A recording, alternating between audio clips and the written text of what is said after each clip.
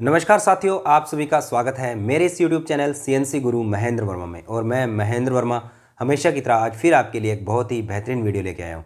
तो जल्दी से चैनल को सब्सक्राइब करें, बेल आइकन को प्रेस करें और मेरे सोशल मीडिया नेटवर्क को ज्वाइन करें, ताकि कोई भी नया आने वाला वीडियो तो सबसे पहले आप लोगों तक जो है वो जानकारी पहुँच जाए तो दोस्तों, आज का जो वीडियो है वो बहुत ही इंपॉर्टेंट आने वाला है ऐसे साथियों के लिए जो किसी इंडस्ट्री के अंदर वर्किंग करते हैं वीएमसी मशीन के ऊपर। और उनके लिए जो आज मैं वीडियो लेके आया हूँ, वो कटिंग टूल्स के ऊपर वीडियो लेके आया हूँ कि कितने प्रकार के जो कटिंग टूल्स हैं, वो वीएमसी मशीन के अंदर हम लोग यूज़ करते हैं और जो मिलिंग कटर्स होते हैं, वो कितने टाइप्स के होते हैं। तो ये वीडियो बहुत ही इंपॉर्टेंट है। जहाँ भी आप इंटरव्यू देने के लिए जाओगे तो इस प्रकार के जो कटिंग टूल्स होते हैं, उनके बारे में पूछा जाता है। वीएमसी मशीन के जो जितने भी मिलिंग कटर्स होते हैं, उनके बारे में आपको जो है वो पूछा जाएगा। तो ये वीडियो अगर आप पूरा देखेंगे तो इस वीडियो को देखने के बाद में जहाँ भी आप इंटरव्यू के लिए जाएँगे, वो इंटरव्यू आपका आसानी के साथ में जो है वो क्लियर होगा। और दोस्तों, इस वीडियो के लास्ट के अंदर मैं आपसे पूछने वाला हूँ कुछ ऐसे सवाल जिसका जो है अगर आप सही आंसर देते हो तो आपको बहुत फ़ायदा होगा। क्योंकि यही जो ऐसे क्वेश्चन हैं, जो आपको इंटरव्यू के अंदर जो है वो पूछे जाएँगे। तो वीडियो पूरी देखने के बाद में बहुत सारे ऐसे सवाल से आपसे मैं पूछूँगा वीडियो के अंत में। तो दोस्तों, इस वीडियो को पूरा देखें और दोस्तों, अगर आपको ये वीडियो आपको पसंद आता है तो इस वीडियो को अधिक से अधिक शेयर करना, क्योंकि इस वीडियो के द्वारा जो है वो आपको बहुत ही अच्छी जो है वो कटिंग टूल्स के द्वारा के बारे में आपको जानकारी जो है वो मिलने वाली है। तो दोस्तों, आइए आज के इस वीडियो की शुरुआत करते हैं। तो दोस्तों, आज हम लोग चर्चा करेंगे वीएमसी कटिंग टूल्स के बारे में। तो दोस्तों, वीडियो बहुत ही इंपॉर्टेंट है, जैसा कि मैंने आपको बताया हुआ है। तो दोस्तों वीएमसी मशीन के जितने भी जो कटिंग टूल्स होते हैं, वो कैसे कार्य करते हैं, इसके बारे में आप लोगों को बताने वाला हूँ। तो दोस्तों, यहाँ पर आप देख रहे हो कि बहुत सारे ऐसे कटिंग टूल्स हैं, ठीक है? तो उनका जो वर्किंग होता है, वो किस प्रकार से होता है? अलग अलग टाइप्स के वीएमसी मशीन्स के अंदर हम लोग जो है वो कटिंग टूल्स यूज़ करते हैं अलग अलग पर्पज के लिए। तो यहाँ पर देखिए एक कटिंग टूल है, ये कैसे कार्य कर रहा है? इस प्रकार से बहुत सारे ऐसे कटिंग टूल्स होते हैं जो हम लोग वीएमसी मशीन्स के अंदर यूज़ करते हैं। तो चलिए दोस्तों, हम लोग इसके आगे वाली स्लाइड में आप लोगों को बताते हैं कि कितने प्रकार के जो है वो वर्किंग हो सकते हैं। तो दोस्तों, देखिए, जिस प्रकार से आप यहाँ पे देख रहे हो कि एक वीएमसी मशीन का एक कटिंग टूल है, जो यहाँ पर आप देख रहे हो मेटल को रिमूव कर रहा है। और यहाँ पर जो डेप्थ ऑफ़ कट लिया है, वो बहुत ही हैवी डेप्थ ऑफ़ कट लिया है। और दूसरी स्लाइड में आप यहाँ पे देख रहे हो कि यहाँ पर एक वीएमसी का जो टूल है, जो लगातार जो है वो मेटेरियल को रिमूव कर रहा है और फिनिशिंग कर रहा है। तो इस प्रकार से बहुत सारे ऐसे कटिंग टूल्स होते हैं, जैसे कि आप यहाँ पे देख रहे हो कि ये एक जो है वो फाइव एक्सिस वीएमसी मशीन है, उसका कटिंग टूल है। और ये किस प्रकार से देखिए कि एक अनइक्वल जो पार्ट है, उसके ऊपर वर्किंग कर रहे हैं। तो इस प्रकार के जो कटिंग टूल्स होते हैं, वो कौन से होते हैं? और यहाँ पर देखिए, ये एक ऐसा पार्ट है यहाँ पर जो टूल है, ये अंदर से जो है वो पार्ट को फिनिशिंग कर रहा है। तो ये टूल जो होते हैं, ये कितने प्रकार के जो कटर्स होते हैं, जो कटिंग करते हैं मटेरियल को, इसके बारे में हम लोग संपूर्ण जानकारी प्राप्त करेंगे। तो दोस्तों, सबसे पहले आज मैं आप लोगों को बताने वाला हूँ कि types of milling cutter machine के अंदर मटेरियल को रिमूव करने के लिए बहुत सारे प्रकार के मिलिंग कटर्स यूज़ होते हैं और इन सभी मिलिंग कटर्स का अलग अलग पर्पज होता है। तो सबसे पहले हम लोग आज जानेंगे कि end mill cutter end mill cutter का क्या कार्य होता है। यहाँ पर देख रहे हो आप, ये है आपका एंड मिल कटर तो एंड मिल कटर का क्या कार्य होता है? दूसरा बात करेंगे हम लोग face mill cutter face milling cutter जो है, वो उसका क्या कार्य होता है और वो टूल किस प्रकार से दिखता है? दूसरा बात करेंगे side milling cutter side milling cutter क्या होता है? Woodruff cutter woodruff cutter क्या होता है? थ्रेड मिलिंग कटर क्या होता है? Rough milling end milling cutter क्या होता है? और कॉनकेव मिलिंग कटर क्या होता है? बॉल मिलिंग कटर का क्या कार्य होता है और फ्लाई मिलिंग कटर का क्या कार्य होता है? तो इधर वाली स्लाइड्स में मैंने आपको दिखाया हुआ है कि यहाँ पर सभी प्रकार के जो कटिंग टूल्स है, वो आपको दिखाए हुए हैं। तो यहाँ पे देखिए, ये आपका एंड मिल कटर है और यहाँ पर आपका रफ मिल कटर है और यहाँ पे थ्रेड मिल कटर है वुड रफ कटर है बॉल कटर है और कौन के मिलिंग कटर है फ्लाई कटर है और साइड मिलिंग कटर है और फेस मिलिंग कटर है। तो ये सारे के सारे जो कटिंग टूल्स है, ये वीएमसी मशीन या फिर हमारी मिलिंग मशीन के अंदर हम लोग इनका इस्तेमाल जो है वो कर सकते हैं। तो हम लोग बिल्कुल बारी बारी से एक एक कटर के बारे में जानेंगे कि किस प्रकार से जो है वो कार्य होता है। तो दोस्तों, सबसे पहले हम लोग बात करते हैं एंड मिल कटर की।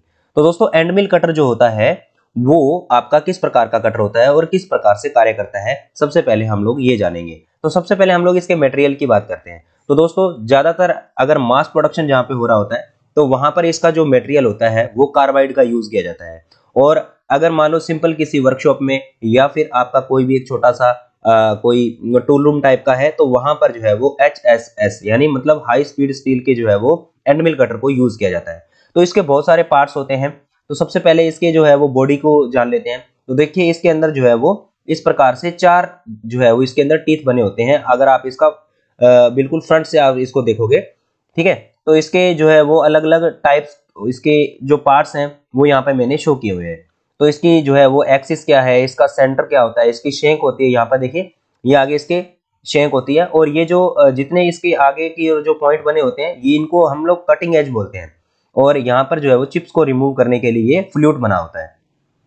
ओके और यहाँ पर देखिए, ये इसकी जो है वो कटिंग लेंथ होती है। यहाँ पर आप देख रहे हो कि जहाँ पर ये, जहाँ तक ये फ्लूट बने हुए हैं, यहाँ तक इसकी जो है वो कटिंग लेंथ होती है। और ये इसकी यहाँ से लेकर के, और ये इसकी जो है वो टोटल लेंथ होती है।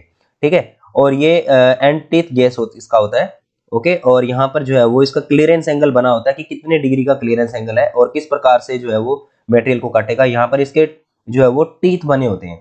तो ये जो एंड मिल कटर होता है एंड मिल कटर का जो मेन कार्य होता है आपका मटेरियल को रिमूव करना। जैसे मान लो आप आ, कोई एक गहरा जो है वो डेप्थ में अगर आप काटना चाहते हो ठीक है? और आप जो है वो किसी सरफेस को फिनिश करना चाहते हो ठीक है? और किसी साइड को फिनिश करना चाहते हो, कोई भी तो वहाँ पर जो है अभी इसका यूज़ किया जाता है। तो अभी इसका मैं आपको यूज़ दिखाता हूँ, किस प्रकार से इसका यूज़ होता है।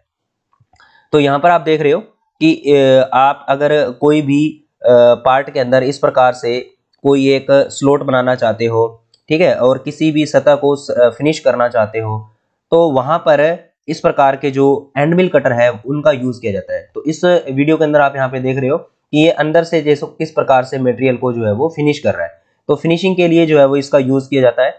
एंड मिल कटर जो है वो काफ़ी किफायती होता है और बहुत ज़्यादा इसका जो है वो मेटल को जो है वो अधिक से अधिक रिमूव करने के लिए जो है वो किया जाता है। तो ये आपका मेन कार्य होता है एंड मिल कटर का।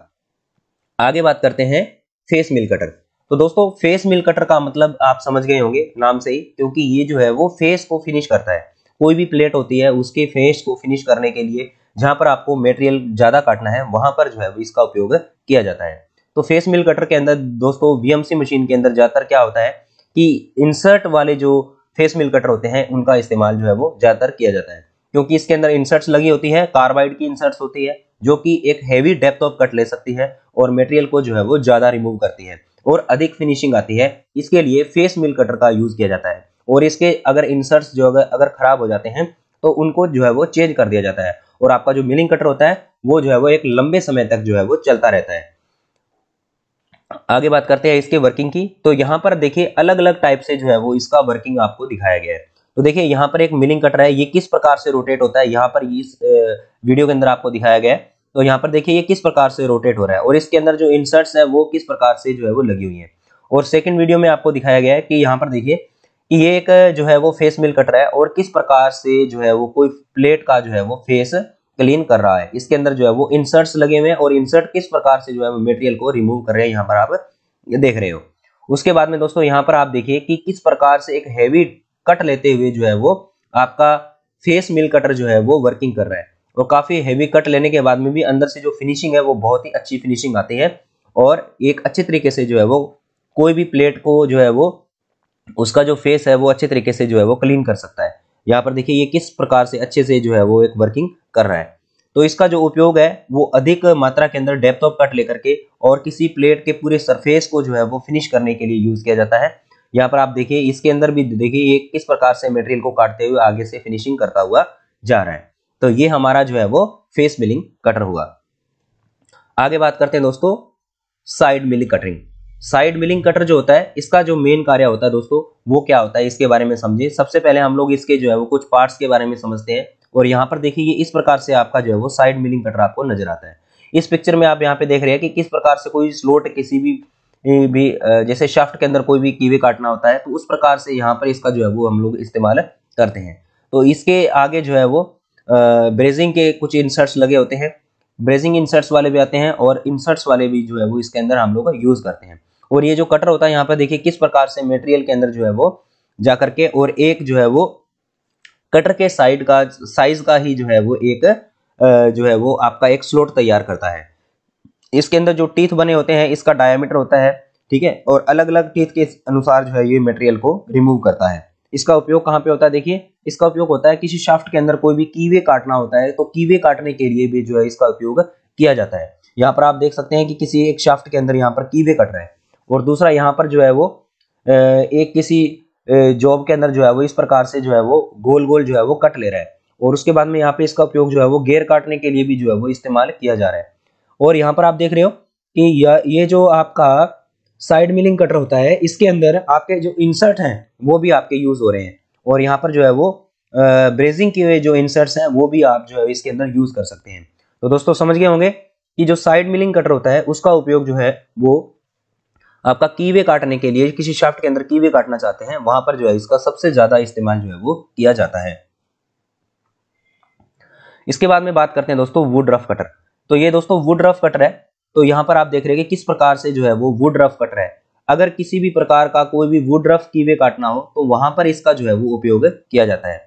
तो यहाँ पर आपको बताता हूँ वुड रफ कटर का उपयोग कुंजी कीवे मतलब कीवे काटने के लिए किया जाता है।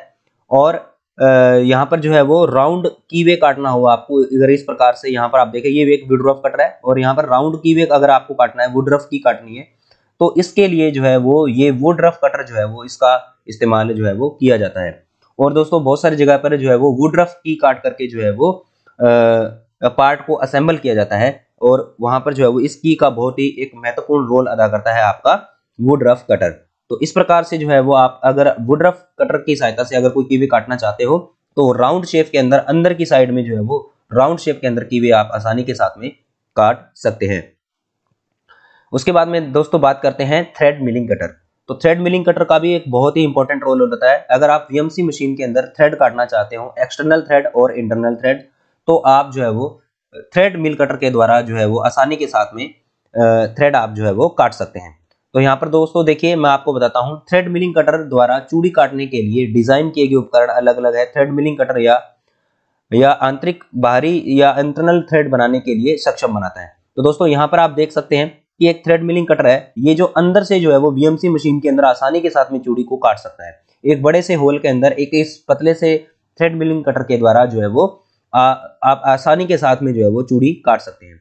और यहाँ पर देखिए, ये थ्रेड मिलिंग कटर दिखाया गया है। यहाँ पर आप जो है वो बाहर से भी जो चूड़ी है मिलिंग मशीन के अंदर जो है वो आसानी के साथ में काट सकते हैं। तो यहाँ पर देखिए कि किस प्रकार से ये जो है वो चूड़ी काट रहे हैं। यहाँ पर ये आप देख सकते हो। यहाँ पर इस वीडियो के अंदर आपको दिखाया गया कि इसकी जो चूड़ी है, वो आपका मिलिंग कटर जो है, ये थ्रेड मिलिंग कटर आपका जो है वो चलता रहेगा। और अंदर से जो है वो जिस प्रकार की जो प्रोफ़ाइल में चूड़ियाँ काटनी है आपको, उसके द्वारा जो है वो आसानी के साथ में चूड़ी को जो है वो काट दिया जाता है। आगे बात करते हैं rough and mill cutter.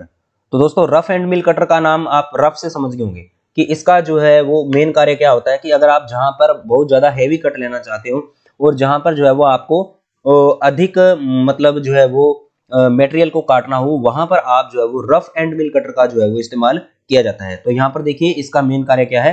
Rough and mill cutter जिन्हें हम हॉग मिलिंग कटर के रूप में भी जानते हैं। ठीक है? का ये है हॉग मिल्स के रूप में भी और भारी संचालन के दौरान बड़ी मात्रा में सामग्री को जल्दी से निकालने के लिए किया जाता है।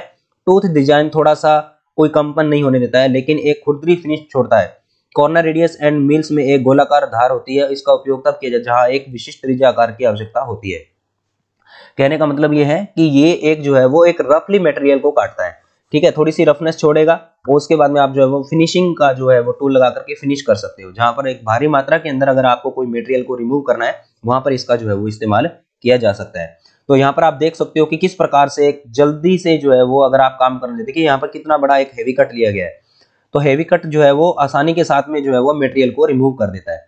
ठीक है तो ये जो थ्रेड मिल कटर का जो मेन मेन जो है working of rough mill cutter तो रफ मिलिंग कटर का जो मेन कार्य है, देखिए किस प्रकार से जो है वो फटाफट जो है वो मेटेरियल को रिमूव कर रहा है। आगे बात करते हैं concave milling cutter concave milling cutter का जो है वो यूज़ किस लिए किया जाता है? इसका उपयोग बहुत ही जो है वो इम्पोर्टेंट जो आपके वर्किंग होते हैं, वहाँ पर किया जाता है। देखिए आप इसके अंदर शेप को देख सकते हैं। यहाँ पर देखिए, ये इसके अंदर एक रेडियस वाली शेप बनी हुई है और यहाँ पर दोनों साइड में जो है वो टीथ बने हुए हैं। और इसके अंदर भी जो है वो रेडियस वाली शेप बनी हुई है। और यहाँ पर जो है वो भारी शेप जो है वो रेडियस की बनी हुई है। तो ऐसे जो मिलिंग कटर होते हैं कॉनकेव मिलिंग कटर इस प्रकार के जो पर्पज क्या है वो मैं आपको बताने वाला हूँ। स्पेशल पर्पज के लिए इनको यूज़ किया जाता है। देखिए अगर कोई भी मेटेरियल है उसके जैसे इधर वाली साइड से right hand side and left hand side से आपको मटेरियल को काटना है और, और बीच में से आपको गोलाई देना है तो उसी की शेप का जो है वो आपको मिलिंग कटर का इस्तेमाल जो है वो करना होगा। और यहाँ से देखिए साइड से रेडियस है और यहाँ से जो है मटेरियल कट रहा है और बीच में से फिनिशिंग हो रहा है। तो यहाँ पर इस प्रकार के जो मिलिंग कटर है, उनका यूज़ किया जाएगा।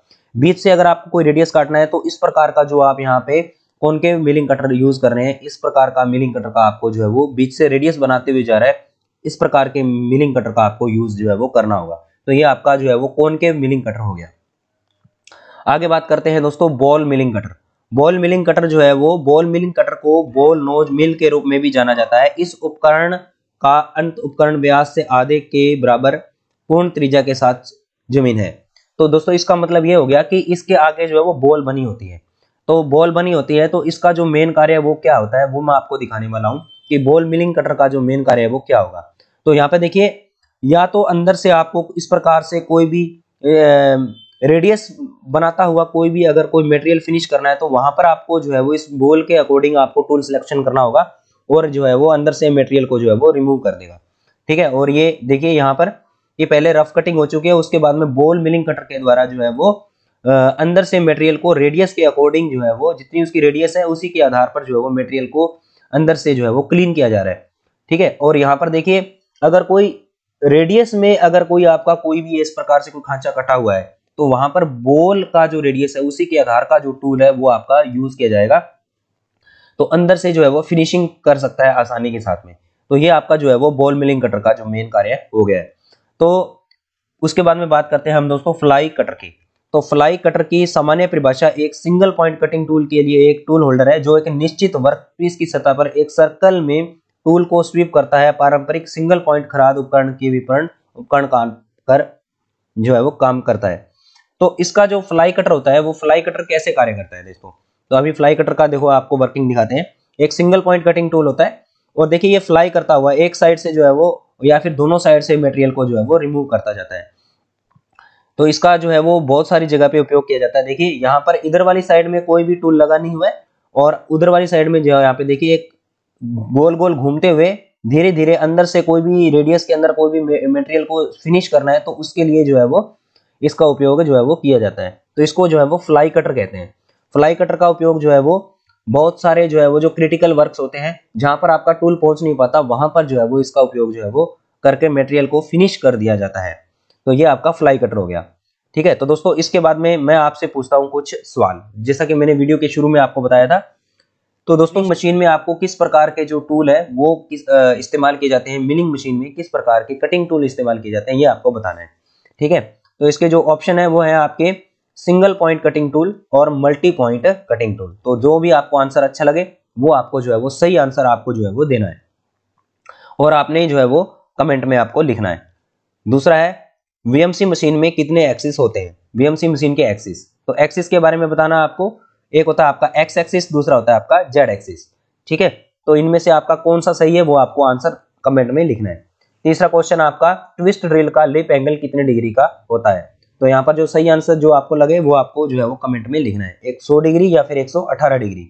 उसके बाद में बात करते हैं एटीसी क्या होता है? तो एटीसी का मतलब होता है, जो भी आपको यहाँ पर दो ऑप्शन दिए गए हैं ऑटोमेटिक टूल कंट्रोल और ऑटोमेटिक टूल चेंजर तो जो भी आपको क्वेश्चन सही लगेगा, उसका आंसर आपको जो है वो कमेंट में देना है।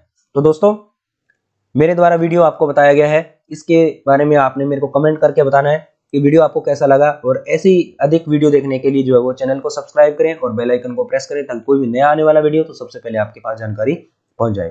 तो दोस्तों बहुत बहुत धन्यवाद। नमस्कार।